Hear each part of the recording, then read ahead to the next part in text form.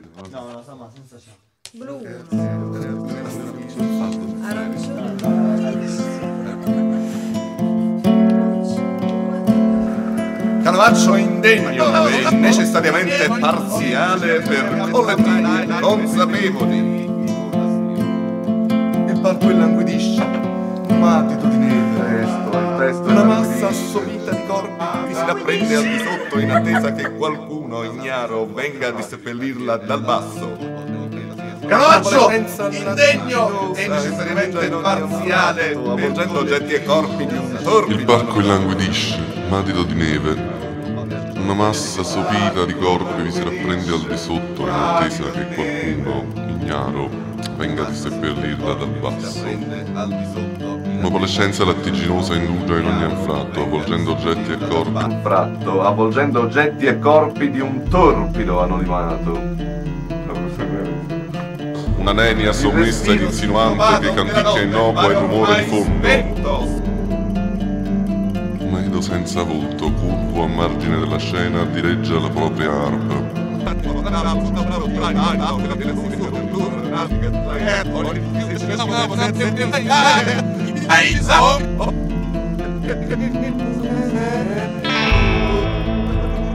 Erottolo, ceruleo, l'occhio, biondo il crine, carminio il fiocco, affila la lama nel rosa dell'imminente mattino, ruminando propositi di vendetta. Di tanto in tanto lancio lo sguardo irato ad un televisore turbido e ronzante.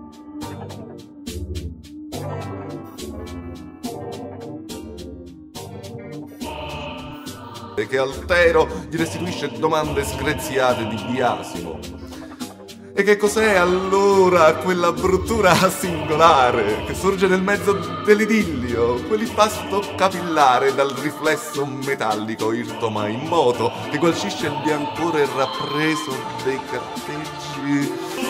E che cos'è allora bruttura singolare che sorge nel mezzo dell'idillio, quell'impasto capillare dal riflesso metallico irto ma immoto e gualcisce che gualcisce il biancore rappreso dei carteggi. Ben guardare la si sarebbe detto una chioma, la vecchia stoppa di un arbusto difforme invischiato d'umori, cresciuto indifferente alle cure, costretto da se stesso. Era dunque immobile. Dottor Miredaki, era solo apparenza? Il tiro mancino di una suggestione eccitata? E cosa dire del fusto, glabro e gialliccio, che approfittando della luce rada si innervava fra le certezze squadernate? Non era quella, in fondo, la postura più naturale di chi s'adagia sul proprio lascito, abbaiando di un sapere miscreduto?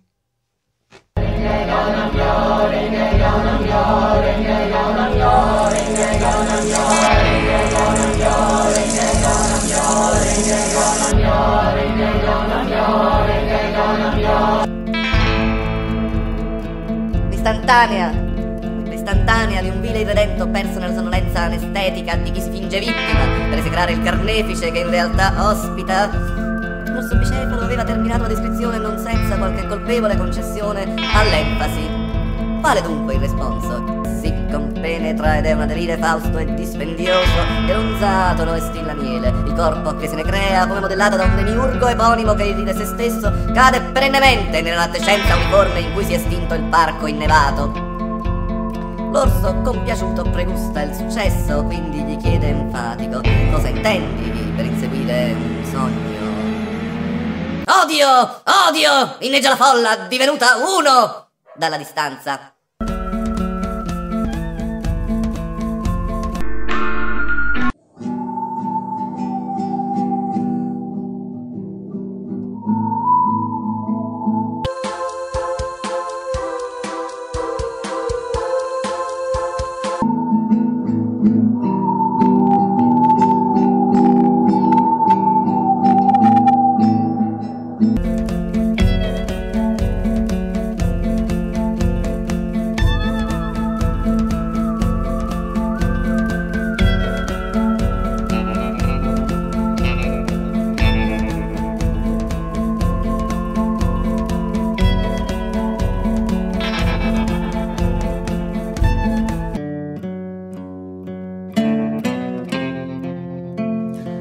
Tuttavia siamo qui riuniti per riscoprire l'aspetto ludico, schiuma l'orso, e nel pretendere ravviva la scriminatura strinata d'argento. Ma il suo ormai è il rantolo dell'elemosinante, nella cui veemenza s'adombra la certezza della sconfitta. Perché dunque? Perché dunque? Perché dunque? Perché? Perché? Perché? Perché dunque tutto questo? Chiede infine nel mentre gli occhi smetrano. Fu allora che si avvide il mistificatore, lo schivo lacchè al servizio di una forma detta bella, finché che gradita alla volubilità del padrone, incurvato sulla pubblica ignominia del proprio rango, o gelato dalla vista fra le coltri del suo solitario, ad ammiccare altri non era se non il padrone stesso. Facitore succube del proprio imperativo, dissimulava oneri e onori in un blando gioco di specchi.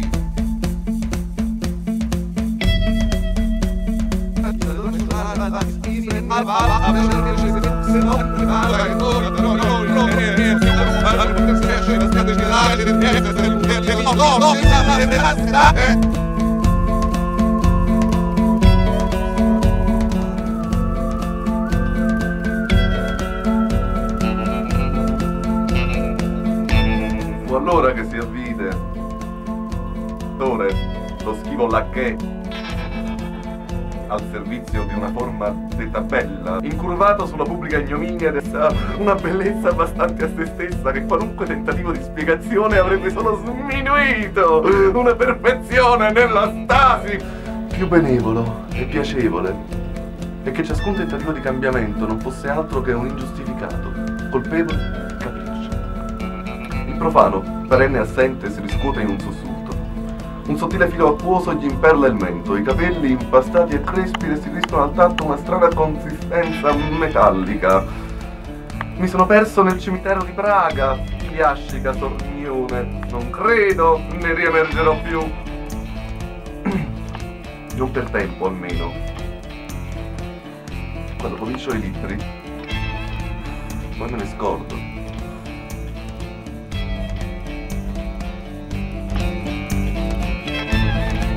Stop!